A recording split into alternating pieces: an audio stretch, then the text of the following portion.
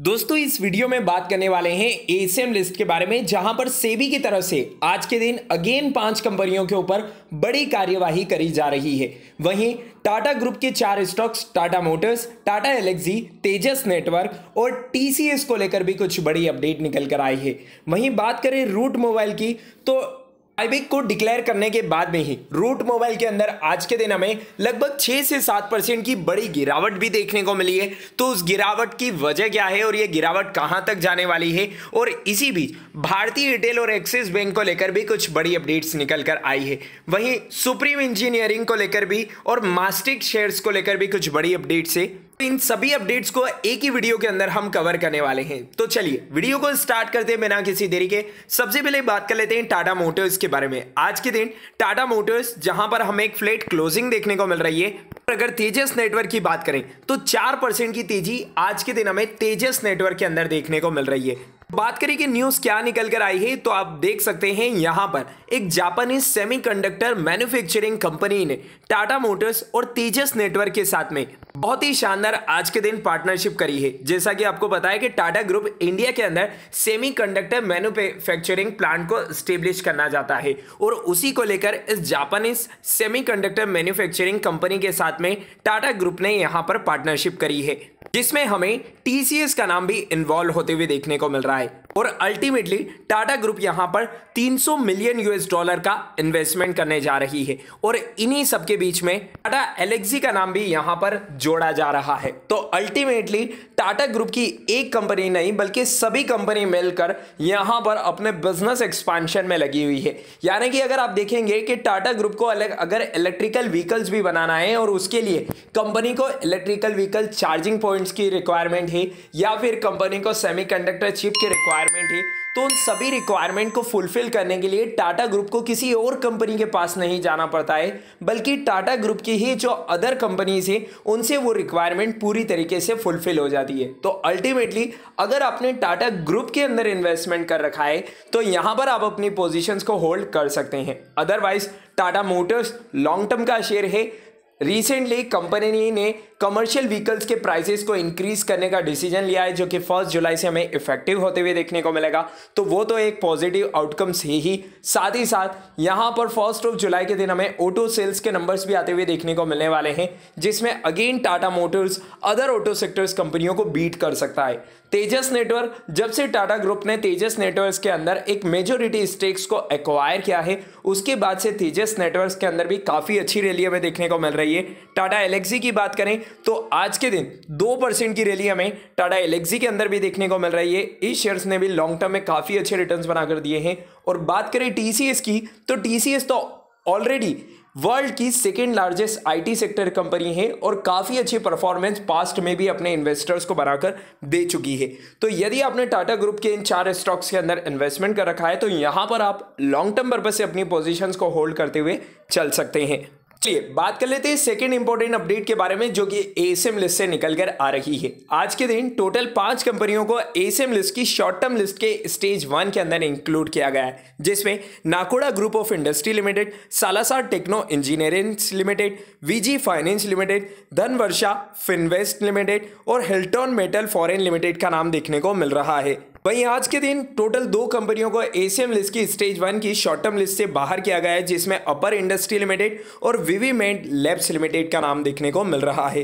वहीं long term SM list की बात करें तो टोटल दो कंपनियों को लॉन्ग टर्म एसएम लिस्ट की स्टेज वन के अंदर इंक्लूड किया गया है, जिसमें दी नोरा इंडिया लिमिटेड और रेन इंजिन वेलवे लिमिटेड का नाम हमें देखने को मिल रहा है। तो यदि आपने इन कंपनियों के अंदर इन्वेस्टमेंट कर रखा है तो यहाँ पर अब आप अपनी स्ट्रेटेजी को थोड़ा सा चेंज करके चल सकते हैं। बात कर लेते हैं नेक्स्ट शेयर्स के बारे में, जिसका नाम है रूट मोबाइल लिमिटेड। आज के दिन रूट मोबाइल लिमिटेड के अंदर हमें ऑलमोस्ट सात परसेंट की गिरावट देखने को मिल रही है। पिछले पाँच से छह trading session route mobile limited के शेयर होल्डर्स के लिए काफ़ी अच्छे रहे।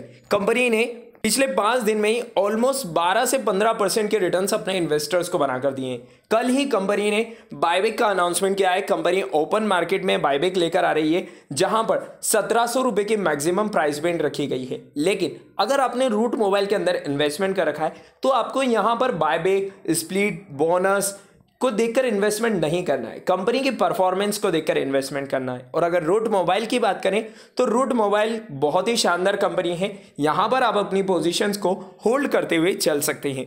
तो यहाँ पर ग्यारह सौ अस्सी के स्टॉप लॉस को ध्यान में रखते हुए आप अपनी पोजीशंस को यहाँ पर कैरी करते हुए चल सकते हैं। बात कर लेते हैं नेक्स्ट शेयर के बारे में, जिसका नाम है मेस्टिक लिमिटेड आज के दिन, इस शेयर के अंदर हमें ढाई परसेंट की गिरावट देखने को मिल रही है। लेकिन इस शेयर को लेकर आज के दिन एक बड़ी अपडेट निकल कर आ रही है। मेस्टिक ने यहाँ पर पार्टनरशिप करी है Netskope to accelerate its cloud security तो यहाँ पर क्लाउड सिक्योरिटी को लेकर यहाँ पर ये जो मस्टिक की पार्टनरशिप हमें देखने को मिल रही है, जिससे कल के दिन इस शेयर के ऊपर आप नज़र बनाए रख सकते हैं। यहाँ पर आपको कुछ पॉजिटिव मूवमेंट देखने को मिल सकते हैं। वही बात करें नेक्स्ट शेयर्स की तो भारतीय एयरटेल के बारे में मैं यहाँ पर बात कर रहा हूँ। आज के दिन भारतीय एयरटेल के अंदर आपको पॉइंट सेवन परसेंट की तेज़ी देखने को मिली। वही एक्सिस बैंक के अंदर आज के दिन आपको ऑलमोस्ट पौने तीन परसेंट की गिरावट देखने को मिल रही है। लेकिन आज के दिन जो न्यूज़ निकल कर आई है, वो पॉजिटिव न्यूज़ है। भारतीय एयरटेल और एक्सिस बैंक ने यहाँ पर पार्टनरशिप करी है। तो जिसके चलते कल ये दोनों शेयर्स अगेन आपको काफ़ी ज़्यादा फोकस में रहते हुए देखने को मिलने वाले हैं।